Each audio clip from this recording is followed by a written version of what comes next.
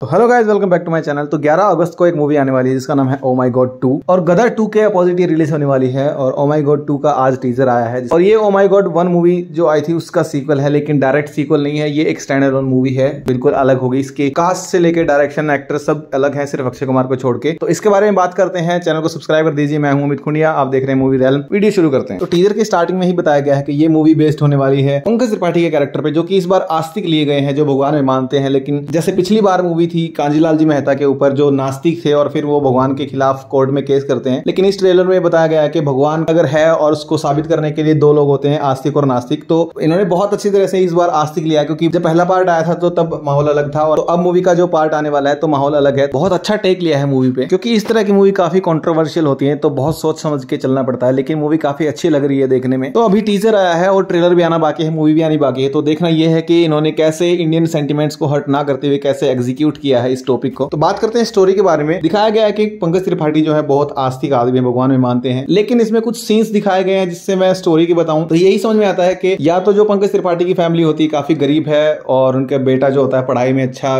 कर नहीं पा रहा है या कोई नौकरी नहीं मिल पा रही है या बहुत ही प्रयास करने के बाद भी असफलता मिलती जा रही है। उसमें एक सीन दिखाया है कि पंकज त्रिपाठी का बेटा है, शायद उनकी कोई फैमिली मेंबर है जो ट्रेन के आगे खड़ा होकर सुसाइड करने वाला होता है। तो इन्हीं प्रॉब्लम के कारण पंकज त्रिपाठी जो होते हैं, वो भगवान को याद करते हैं कि उनकी हेल्प करने के लिए आए। जो अक्षय कुमार जो कि इस बार लॉर्ड शिवा का कैरेक्टर निभा रहे हैं, वो इनकी हेल्प करने के लिए आते हैं। और एक बात कहनी पड़ेगी, अक्षय कुमार काफ़ी अच्छे लग रहे हैं शिवा के कैरेक्टर में, जैसे उन्होंने ओ माई गॉड वन में कृष्णा का कैरेक्टर किया था। काफ़ी प्यारा कैरेक्टर था, बहुत ही अच्छे लगे थे वो। और जो सादगी कृष्णा वाली थी, उनमें काफ़ी अच्छा उन्होंने कैरेक्टराइजेशन किया था कैरेक्टर का। इस बार वो शिवा बने में उनका लुक काफ़ी अच्छा है, काफ़ी अच्छी फिजिक में है। और दूसरी बात, मैं म्यूज़िक की बात करूँ तो काफ़ी अच्छा म्यूज़िक भी लिया गया है इस बार, क्योंकि एक कोर्ट रूम ड्रामा होने वाला है। तो इस बार मेरे ख्याल से पंकज त्रिपाठी भगवान के खिलाफ केस करेंगे, क्योंकि यामी गौतम जो है वो इस मूवी में एक वकील का करेक्टर निभा रहे हैं। काफ़ी टाइम के बाद लग रहा है कि अक्षय कुमार एक बड़ी हिट दे सकते हैं, क्योंकि ओ माई गोड वन भी काफ़ी बड़ी हिट थी। ये ओ माई गोड टू है सीक्वल की वैल्यू रखते हुए और काफ़ी अच्छा टॉपिक भी है, लोग देखने जा सकते हैं। लेकिन इसके ऑपोजिट में गदर टू भी रिलीज़ होने वाली है। तो हमें अक्षय कुमार को अंडरस्टिमेट नहीं करना चाहिए। ओ माई गोड टू अच्छा परफॉर्म कर सकती है। अगर इन्होंने कोई आदि पुरुष की तरह हरकतें नहीं करी तो मूवी अच्छी हिट हो सकती है। और एक इसमें प्लस पॉइंट ये है, जो हंसराज रघुवंशी है, जो की सिर्फ़ शिव के गाने बनाते हैं, उनको मूवी में लिया गया है। तो हमें एक और अच्छा गाना शिव पे देखने को मिल सकता है। और टीजर के बैकग्राउंड में जो म्यूज़िक बजता है, काफ़ी दमदार म्यूज़िक लगता है, काफ़ी अच्छी वाइब देता है। तो ओमाई गोड वन की तरह अच्छा म्यूज़िक इसमें भी मिल सकता है। तो आप लोगों ने अगर टीजर देखा है तो कमेंट करके बताएँ कैसा लगा। वीडियो अच्छी लगी तो लाइक करें शेयर करें। चैनल पर नहीं है तो सब्सक्राइब करें। बेल आइकन प्रेस करें ताकि नई वीडियो आए तो आपको नोटिफिकेशन मिल जाए। और जवान का प्रीव्यू आया है, उसके बारे में मैंने बात करी है। और आप बवाल के टीजर का भी रिव्यू देख सकते हैं मेरे चैनल पे।